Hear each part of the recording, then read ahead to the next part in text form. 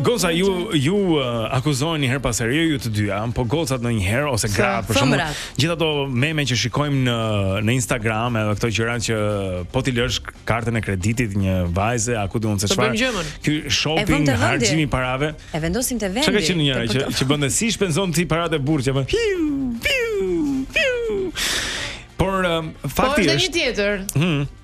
që po paguaj uh, pastruesen, atë që lan, që fshin, që mban kalamajtë, që bën pazarin, i bëj të gjitha unë, kështu që lekët. Po, e vërtetë. Ja, po s'do aty tek ajo, po. Ah, okay, mund të ketë një vajzë tani që mban ja, po, rekordin. Ja, kemi lekët tona. Për më shumë shpenzime dhe nuk i kishte as të vetat, po i oh, kishte oh, i kishte të dhuruar. Kamala Harris arriti që të shpenzonte në 100 ditë 1.5 miliard dollarë. Ore, Kamala edhe s'fitoi gjë? Kamala edhe s'fitoi gjë. Mirë që harxhoi. Kamala Harris, domethënë tani po. njerëzit janë duke bërë llogaritë e fushatës që ishte fushata e zonjës Harris për presidente e Shteteve të Bashkuara të Amerikës, që ka qenë një nga fushatat më të shtrenjta. Ajo kishte pak kohë, por në këtë pak kohë derdhi një lumë parash. Më të shtrenjta në historinë e Amerikës apo? Absolutisht, 1.5 miliard, domethënë. Kjo e Kamalës. Po, sepse ishin donacionet që i dhanë uh, njerëzit e ndryshëm dhe kjo pati uh, show me dronë. Pati një ushtri që shkonte trokiste derë më derë. Po, ka bërë namin në reklama televizive që janë uh, sidomos në Pensilvani që ishte në po, debat atje. Po, të vijë Beyoncé në fushatë? Exact. Pra. Jennifer Lopez, Taylor Swift, Eminemi. Të gjithë këta kanë oh. shkuar Oprah bëri një town hall edhe kjo ishte po. një gjë shumë e shtrenjtë. Po lexoj pak edhe tani, kjo fushatë që zgjati vetëm 15 javë. Pra nëse do ta llogarisnim 1.5 miliard dollarë për 15 javë i bie 100 milion dollarë në javë. janë shpenzuar për fushatën e Kamala. 100 milion dollarë në javë. Në javë. Ne thjesht e themi se nuk e imagjinojmë dot. 100 milion herë 15 po. javë, 1.5 miliard dollarë. Si duken këto kështu? Shumë shumë. Është doli atje. Dhe kritikët po thonë po mirë, po si u shpenzuan kaq shumë para, si si ia doli me prish kaq shumë lekë dhe të mos fitojë, domethënë. E pa mirë, po tani edhe ajo në atë periudhë ishte e shkurtër. Po Trump sa ka shpenzuar që të po jo, Trump Trump me njoje. Ai Ai ah, shikon. Me klerisi, po. Me klerisi. A merr emisioni jo, dali çik të flas. Nuk e di me shifrën eksakte zoti Trump, po ai bëri fushatë prej 2 vjetësh, pati edhe donacione. Tani Trump ka paratë e tij. Nuk i ka shpenzuar paratë e uh, veta. Donacioneve. Një nga gjërat që zoti Trump pa pat thënë dikur kur ishte kandidat para se të zgjidhej president për herën e parë, tha që zgjidhni një si unë, kam lekët e mia, nuk kam unë nevojë me marr po. lekë nga ky e nga ai, nga ai, që pastaj t'u ngre telefonin unë këtyre edhe t'u bëj shërbime në mm. jo, jo zotri, unë kam lekët e mia. Po që është i zgjuar ai, po që është i zgjuar se shiko çka ka bërë. Mori Elon Musk e tha unë do të jap një post shumë të rëndësishëm kabinetin tim se unë e di që do fitoj. Po Okej, okay, po çfarë do thjesht hajde në fushata, duku.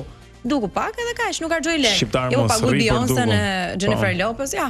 Njeriu më i pasur në botë. S'ka harxhu fare fitoi. Me mend. Okej. Okay. Kemi gati telefonuese për t'i kontaktu. Unë nuk e di sa do të mund të jetojnë ata bashkë. Dy gjela në një kotec, domethënë. Mos e srimi shtëpia ta vë.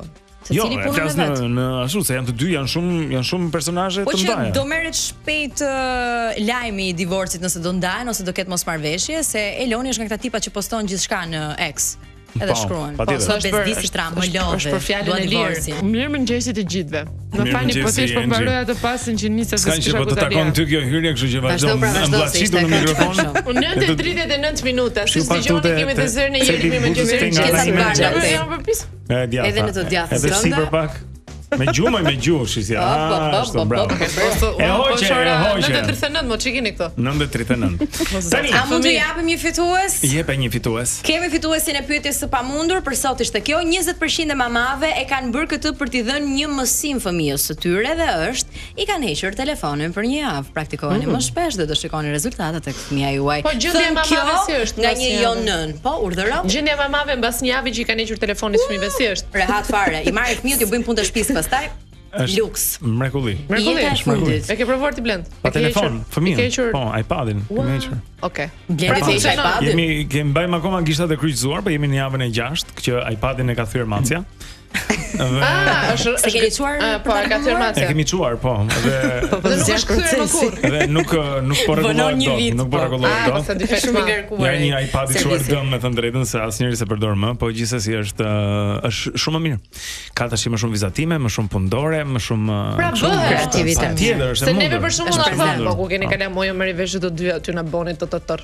Po ti e paske bërë. Absolutisht, absolutisht. Manca, manca. Manca, manca e fituesit. Po jemi. Është 363-shi Laura. Urime Laura, ke fituar një kupon nga Enca Atini.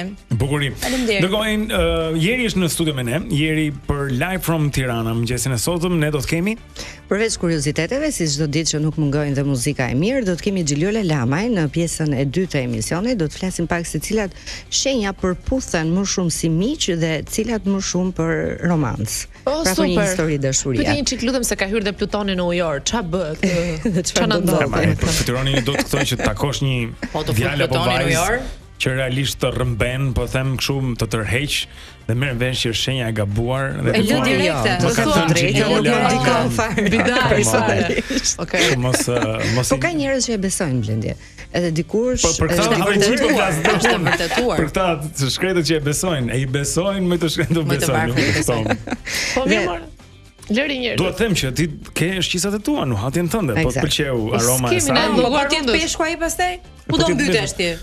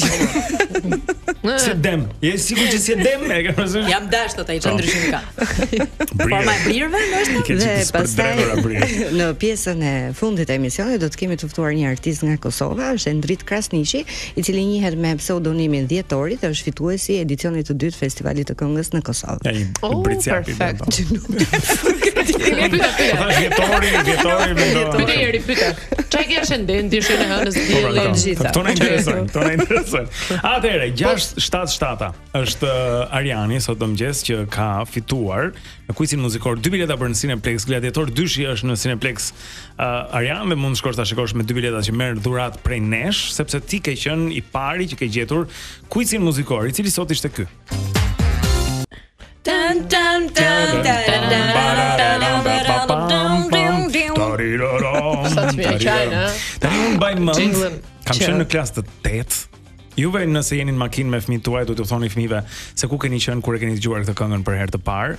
E bëjmë jo. akoma dhe edhe ishte ishte në ishte në hit parade në MTV, M People Moving On Up quhet kënga.